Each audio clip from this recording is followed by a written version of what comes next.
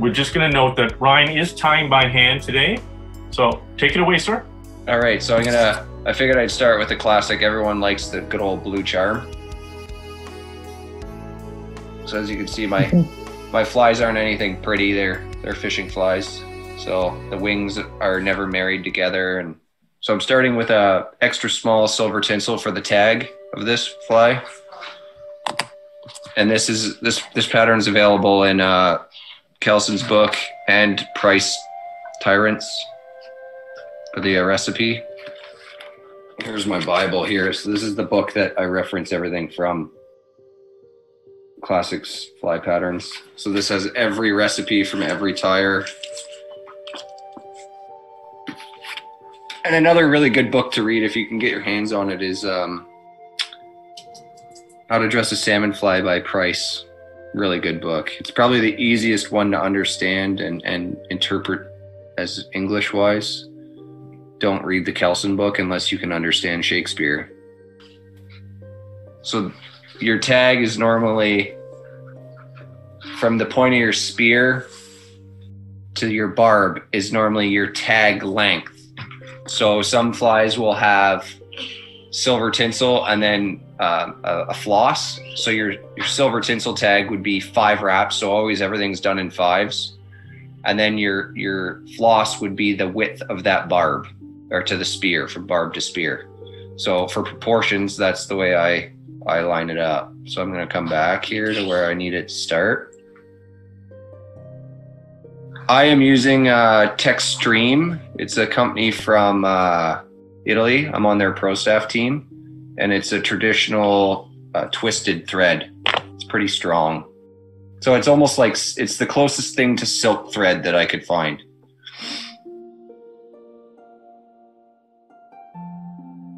So I tied back,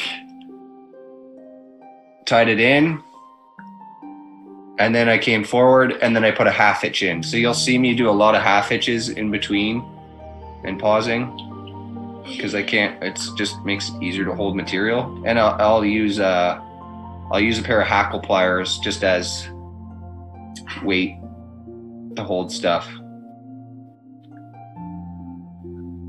And the thread that uh, I'm using, it's a six six aught uh, thread.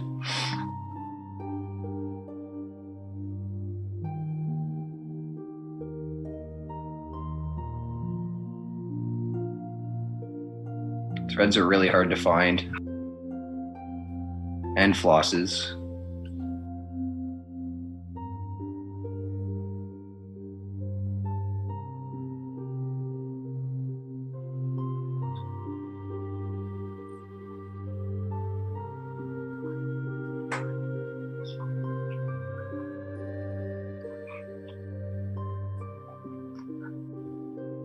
So you can see there I got that in.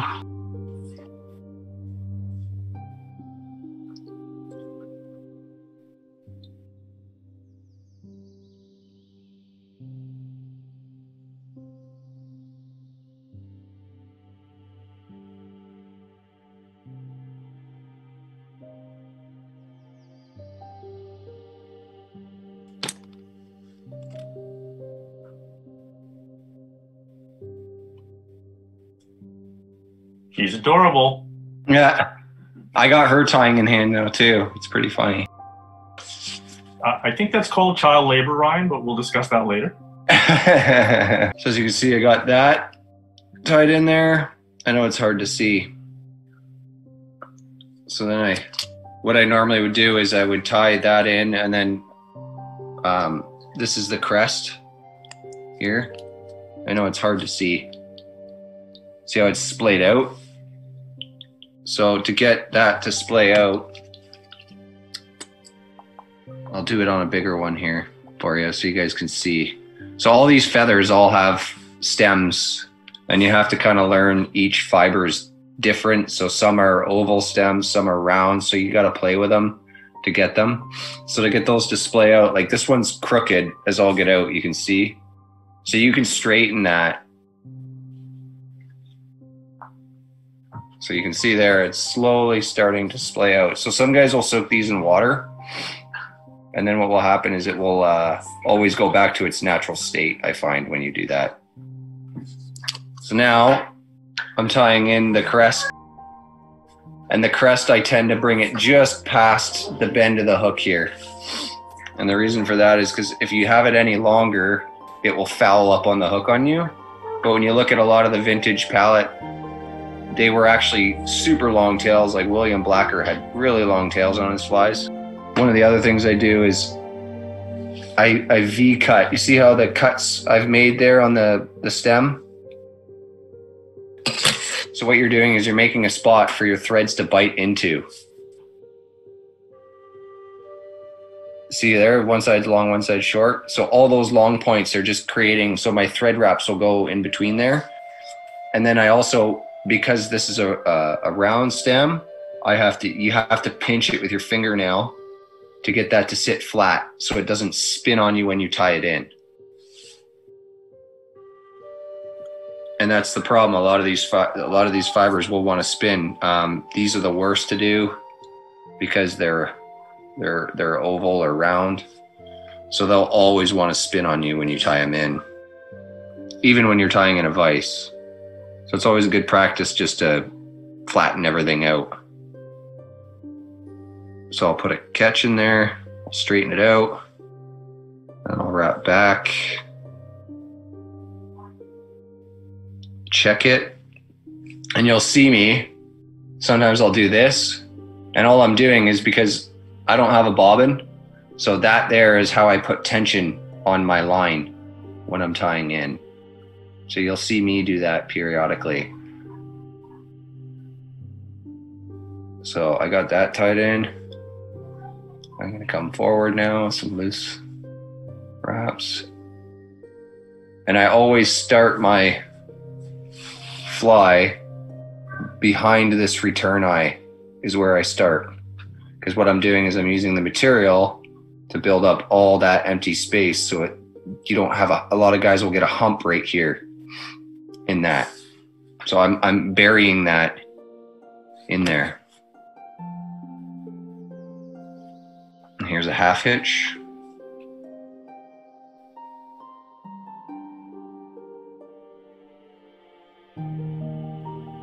And that will just hold my thread in place and I could play with this tail a bit. And I mean, as soon as it goes in the fly box, the tail gets mangled anyways.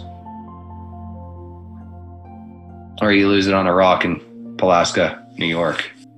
Okay, building on that question, even when I have a fly in a vise, I have pierced my hands many times. Does that happen to you when you're tugging or pulling or Yes. in the beginning? Or have you gotten better at it? Uh, in the beginning when I was learning and like learning how to hold the hook and the right amount of strength, I have hooked myself in the beginning a few times that stuck in, but you're like you're committed to tying, but you don't want to stop and it's sticking in and it keeps digging further and further.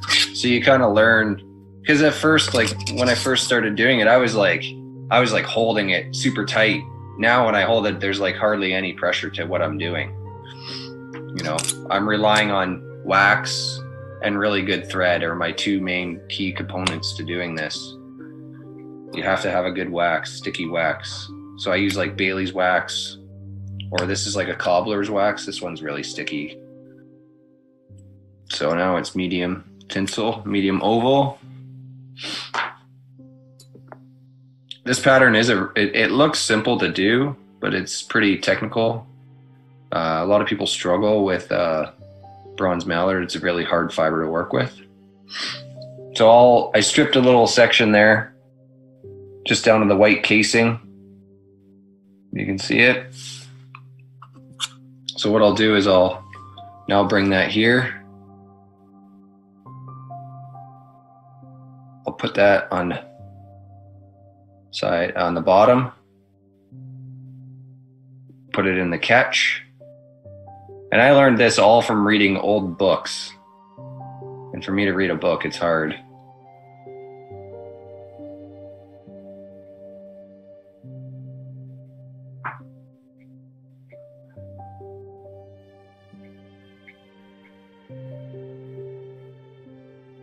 So now I'm just building building a body segment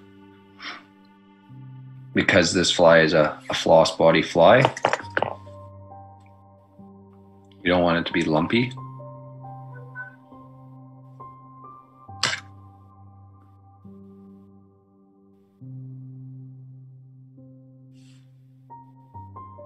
They're just so hard to sit and go through the whole thing. So I'm just using my scissors to kind of flatten everything out. How did you decide to start tying by hand? Uh, my buddy Whiskey Gin. Everyone knows Whiskey Gin. Um, he was friends with a, a a mentor of mine that I used to fish I fish with a lot, and I got to see him tying in hand, and I just was like completely in awe how awesome it was. So then I went home that day and I said I'm gonna practice that. Have you ever tried it with like a wine cork to hold it? Because I'm thinking our group probably has a lot of wine corks at home in COVID. You know, Yeah. Ouch. could use you could use a wine cork for Yeah. sure. Just something to hold it. Yeah.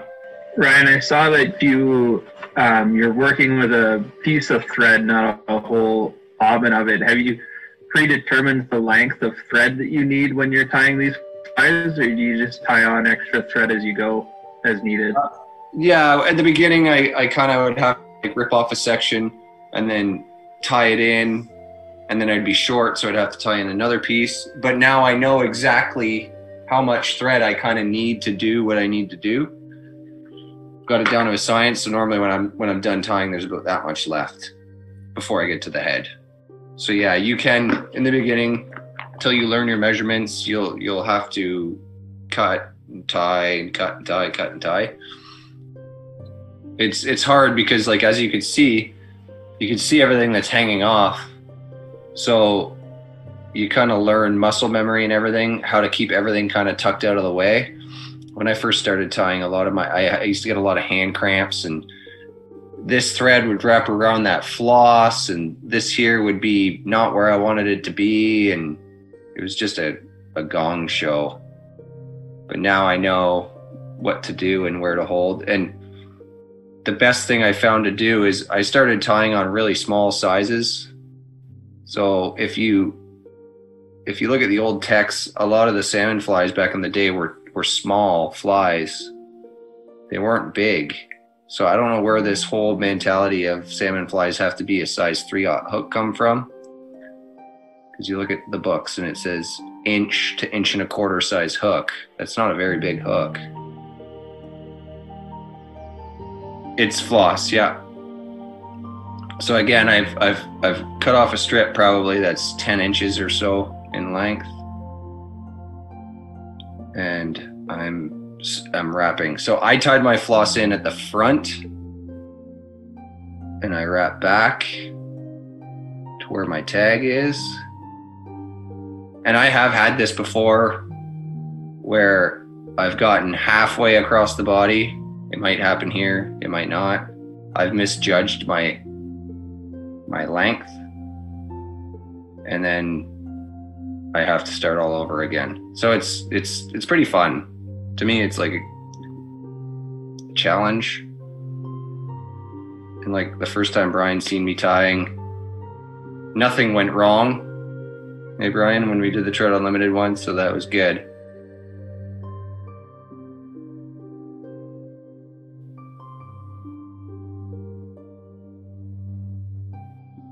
and we're going to be uber close here.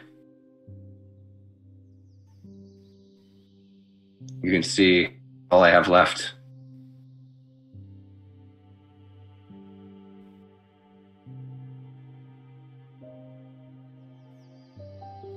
I Need my third hands here. I was only blessed with two. Oh, that's cutting it close. three wraps to lock that in.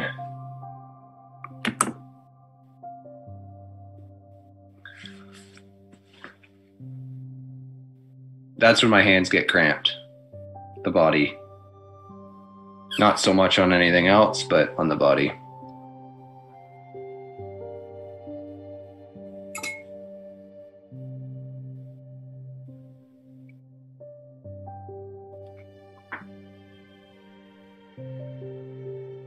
two half hitches here. So I always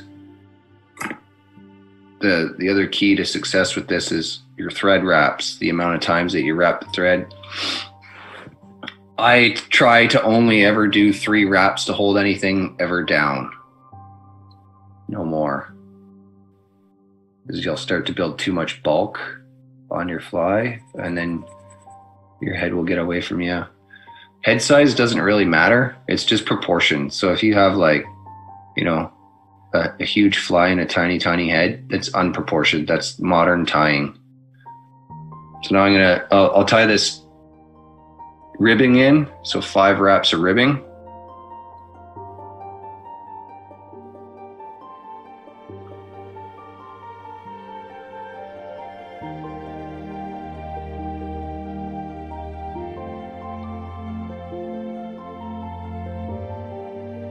I know it's hard to see. I need like a GoPro.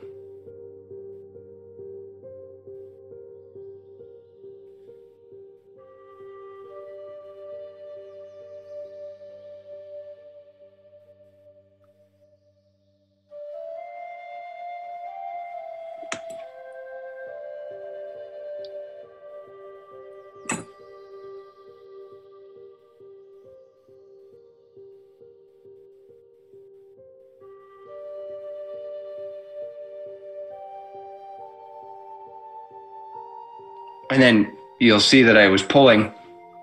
I was pulling pretty pretty tough there. Um, when I first started tying, I would I would pull and I would pull to the point where I would like break the thread all the time. But now I've gotten to the point where I know how much tension I can put on the thread that I don't need to worry about breaking it.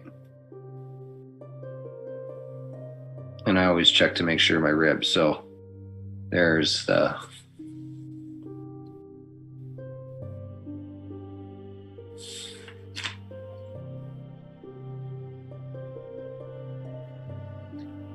Uh, yeah, at first, yes, I did.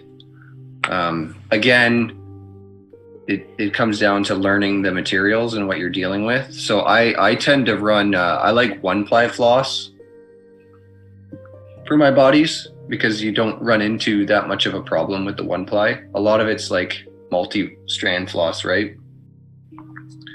Like um, Lagartun's, I think, I think a four strand, I think so you will run into that. Even even Lagartun, I, I kind of strip pieces off. I don't use the full amount for it. And you can cheat too. Um, back in the day, when I was first starting out, to get a nice smooth body for my first layer, you can you can wax you can wax it a bit so it sticks together and it won't unravel. So now the hackle.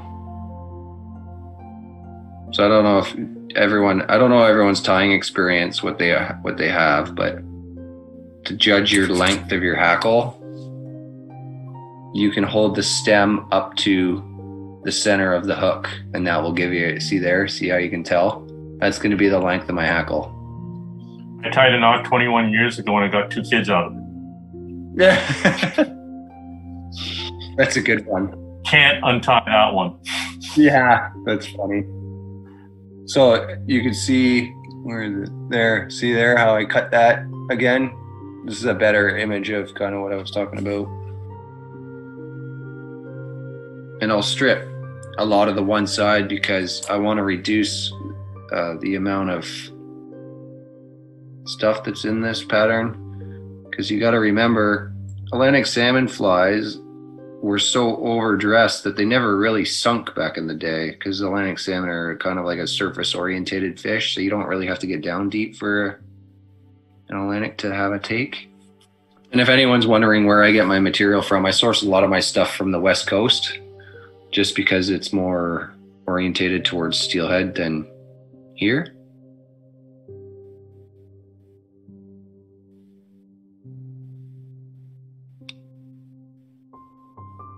So I stripped that one side.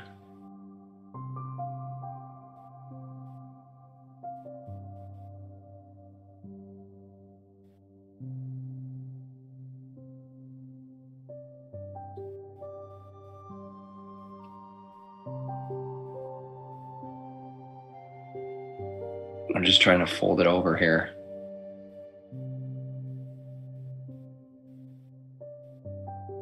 I have a couple fibers.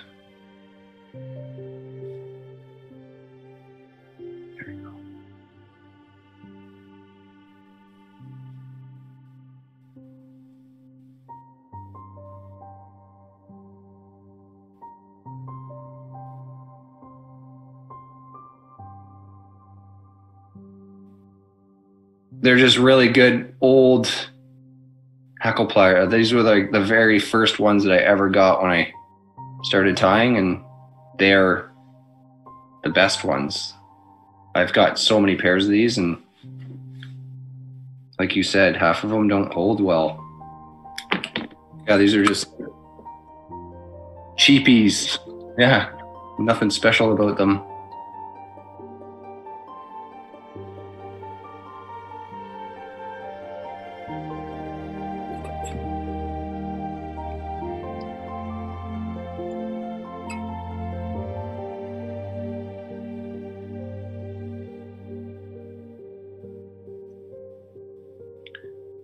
Reason why, the other reason why I do it in sittings too, is because you start to get tired and then you make mistakes. It's like anything else, right?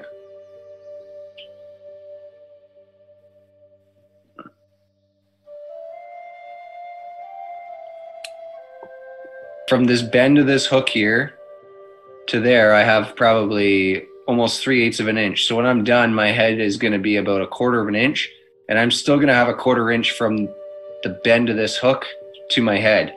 And the reason you want that is because these salmon flies were intended to be tied with a Turle knot or a loop knot to keep your line comes through here. Fishing line comes through here like this, and that keeps your fly riding true when you're swinging it through the water. If you tie any sort of knot that hangs off the top here, like a clench knot, your fly is going to want to ride like this in the water. So always make sure that you have a- a space there for your your leader to grab onto to keep your fly true. So I get a lot and a lot, and I mean a lot of DMs, private messages on forums about the arch nemesis of this stuff. I don't know if you guys have ever tried to work with this. It is extremely hard to work with. It's extremely hard to tie in. Um, and guys get frustrated with it. So when I first started tying, you can cut segments off where you can leave like this fiber here. I could cut that stem there and I could cut that stem here and leave the stem attached when I'm tying it in, and that will stop the fibers from splaying out when you tie it in. This here is the main key factor to your bronze mallard to make it look good. So you want more gray because that's softer. The brown is a little stiffer and it doesn't it doesn't compress that well. So you always want to make sure that you have more gray than brown for your for your wings. And this goes for spade flies or um, winged flies like this. Um, this this is arch. That's the arch. The arch is now facing me. So tips down is um, near side. This is the arch here. That's that side. That's tips down. That's far side. So near side, far side, left, right. Um, there's no really right or wrong way to do it. Some guys tie tips up. Some guys tie tips down. I'm a tips down guy. So I'm just splitting this wing into three fibers, three stacks here. So I've cut off all lefts and I'm just kind of stacking them on top of one another to build a little bit of a thicker wing here because I'm on a bigger iron. Normally, if it was a smaller iron, I would just uh, do one quarter inch slip. So there's one wing. It's my far side. And you can alternate to, you can do one left, one right, one left. So then the fibers will never ever stick together. Or you can go, when you get into doing like um, your built wings, they call it, you can do individual sta- strands of each fiber individually placed. That's that's George Kelson's way of doing it. So there's different every tire has a different technique to his madness.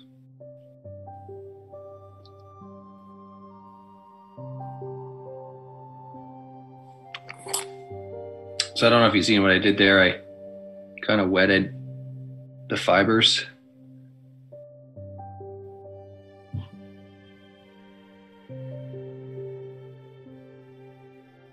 Sometimes they don't taste very good. So I'm there's my two stacks.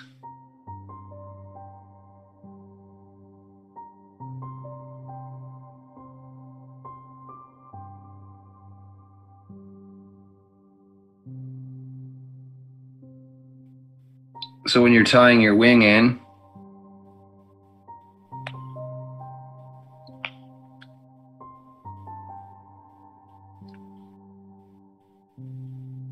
always make sure that you only pull in one direction. So never pull towards you,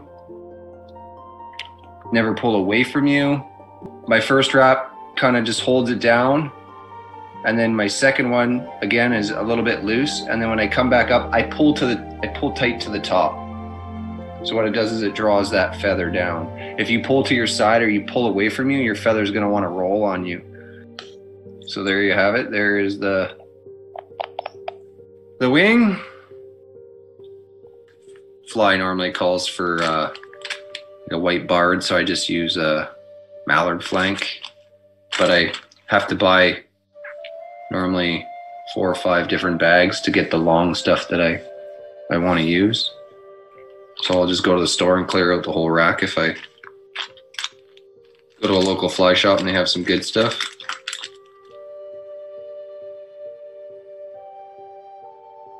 So when I call Michael, I say the Ryan Taylor 10% discount applies. Is that, that's what I heard is a coupon? Or? I I can give you guys a coupon code for Chinook Wind. I do have I do have that.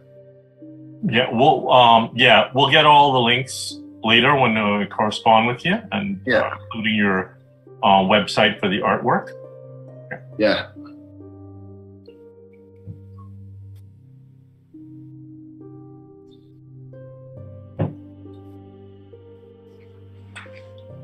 So you can see there, there's the white mallard sides.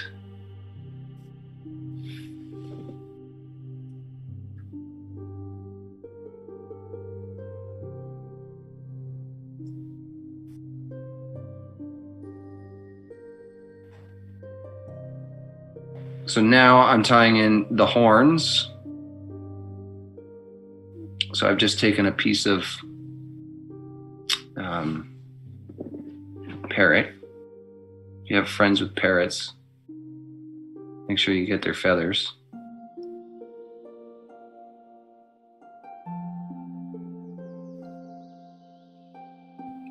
So I just tied on that side.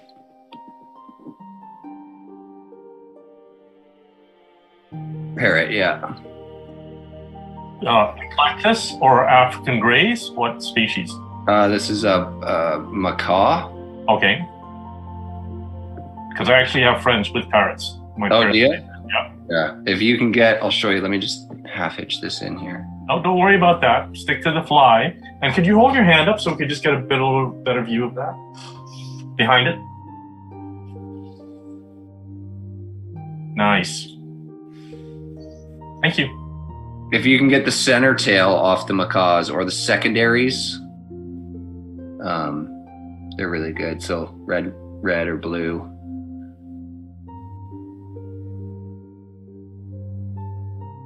So I really take my time near this part of the fly. You know, I just have a, vi- um, a visual now of you inside that aviary chasing around exotic birds, just like the book The Feather Thief. Probably not far off. Do not cross line, and then you see you read about me in the paper.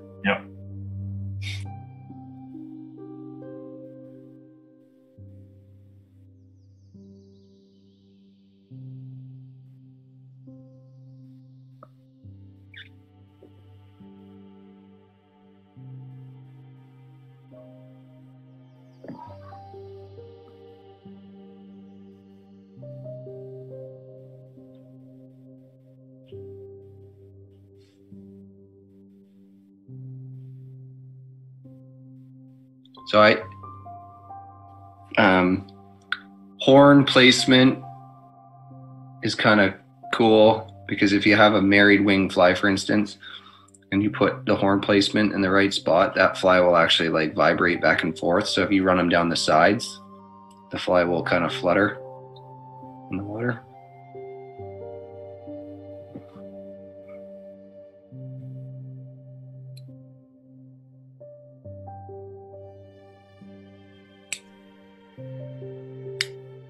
Go. There's the.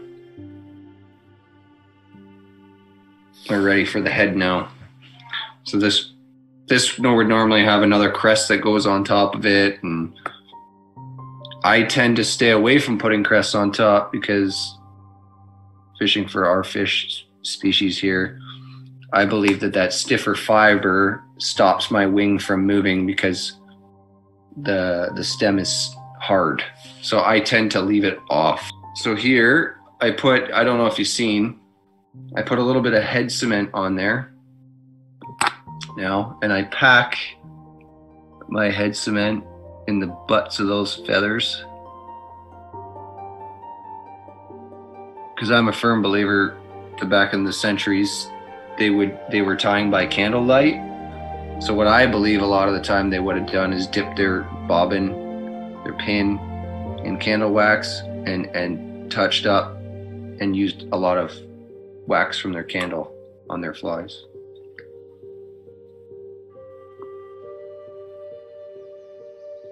So I brought my thread to the front. So my thread is now brought to here. Because I'm going to work my head back now and finish behind.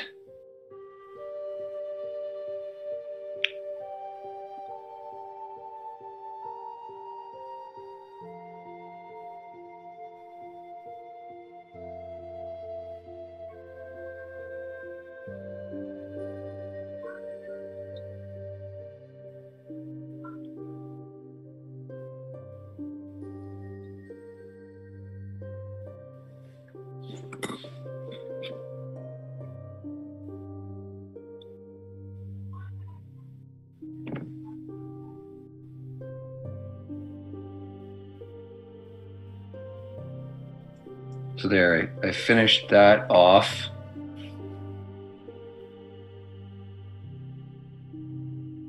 So the thread is behind that wall. Everyone's. Uh, I wonder if this will show better. Does that show better?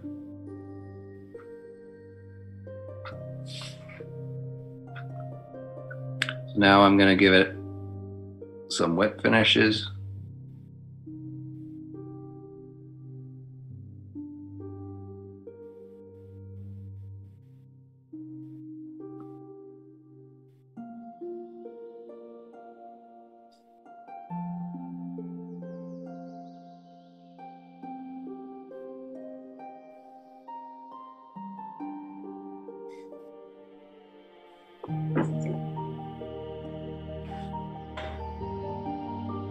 That's it.